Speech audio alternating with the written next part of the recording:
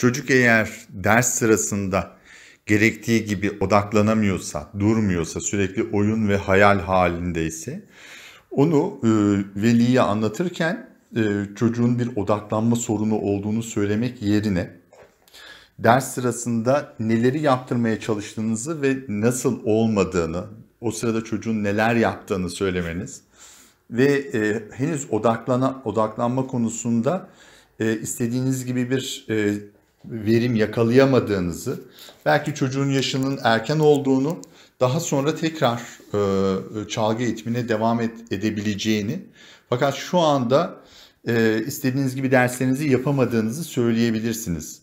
Yani ona bir etiket vermektense işte çocuğunuzun odaklanma sorunu var e, ya da bozukluğu var vesaire gibi bir şey söylemek yerine ya da çocuğunuz çok yaramaz e, demek yerine e, neyi yapamadığınızı, neyi yaptırmak istediğinizi ve neyi yapamadığınızı açıklamanız daha olumlu olacaktır. Çünkü e, veliler genelde çocuklarının durumuyla ilgili bu tür değerlendirmeleri e, konusunda değerlendirmeler konusunda çok hassas olabilirler.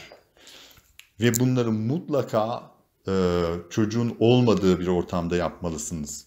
Çocuğun kendisi hakkında bir değerlendirme duyması e, çok uygun olmaz.